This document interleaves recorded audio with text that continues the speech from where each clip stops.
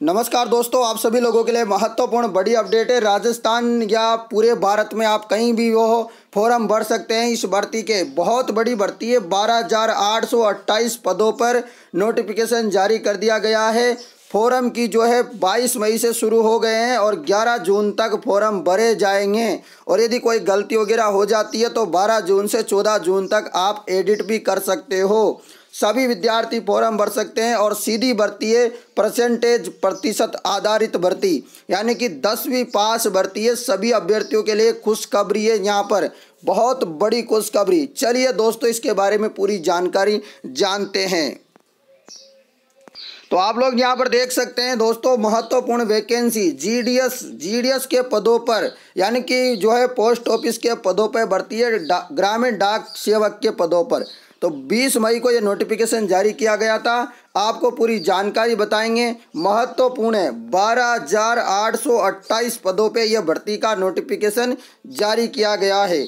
देख सकते हैं फॉर्म जो भरे जाएँगे, यानी कि रजिस्ट्रेशन भरे किए जाएँगे और फॉर्म भरे जाएँगे 22 मई से लेकर के 11 जून तक और फॉर्म में एडिट कर सकते हैं 12 से 14 जून तक। उसके अलावा यहाँ पर दोस्तों सैलरी होगी बीपीएम की बारह हज़ार से लेके उनतीस हज़ार तीन सौ अस्सी तक एबीपीएम की दस हज़ार से चौबीस हज़ार चार सौ सत्तर रुपये तक जो है यहाँ पर सैलरी होगी। और भी जानकारी आप इस नोटिफिकेशन को पढ़ के देख सकते हैं। इसका लिंक जो है, मैं डिस्क्रिप्शन में दे दूँगा और टेलीग्राम पे भी इसका पीडीएफ मिल जाएगा आप लोगों को। ठीक है? तो वहाँ से पीडीएफ डाउनलोड करके ज़रूर फॉर्म भरें। और यहाँ पर जो एज लिमिट है, वो रखी गई है अट्ठारह से चालीस वर्ष। और जो छूट दी गई है, वो कैटेगरी वाइज आप लोग देख सकते हैं। इस प्रकार छूट भी दी गई है। एजुकेशन क्वालिफिकेशन की बात करें तो टेंथ पास होना चाहिए। टेंथ पास में आपके मैथमेटिक्स और इंग्लिश भी होना चाहिए। मतलब होना चाहिए, बस इतना है। और आप जहाँ से फॉर्म भर रहे हो किसी भी राज्य से तो वहाँ की लैंग्वेज आपको आनी चाहिए। जैसे कि राजस्थान में फॉर्म भर रहे हो तो आपको हिंदी आनी चाहिए। ठीक है? क्या आनी चाहिए? हिंदी। जैसे दिल्ली का फॉर्म भर रहे हो तो हिंदी आनी चाहिए। जैसे आप पंजाब का फॉर्म भर रहे हो तो पंजाबी आनी चाहिए। तो महाराष्ट्र का भर रहे हो तो मराठी आनी चाहिए। तो मतलब आप जहाँ से फॉर्म भर रहे हो, उस अनुसार आपको लैंग्वेज भी आनी चाहिए।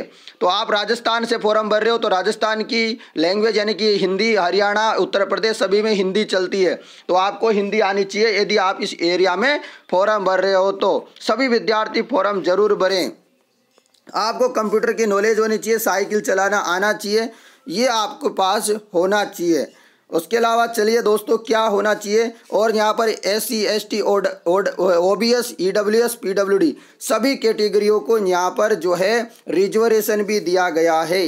तो आप लोगों के लिए महत्वपूर्ण अपडेट है।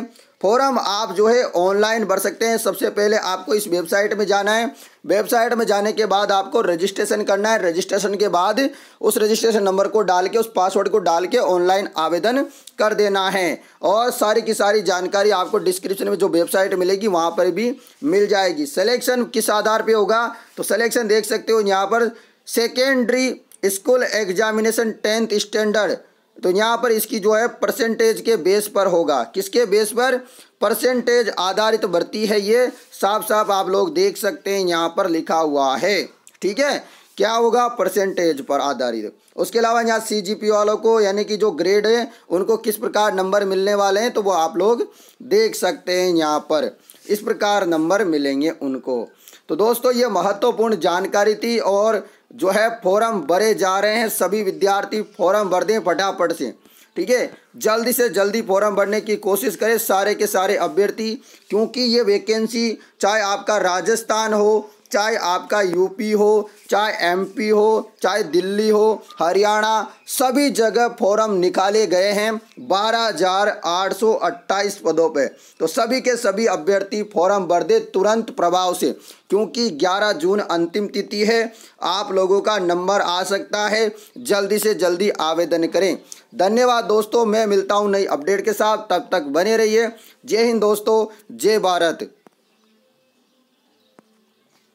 और यहाँ पर देख सकते हैं, बहुत जल्दी मतलब इनकी जो है पोस्टिंग वगैरह भी दे दी जाएगी। बहुत जल्दी डॉक्यूमेंट्स वगैरह भी करवा लिए जाएँगे। तो यहाँ पर देख सकते हैं, ये सारी जानकारी यहाँ पर लिखी हुई है।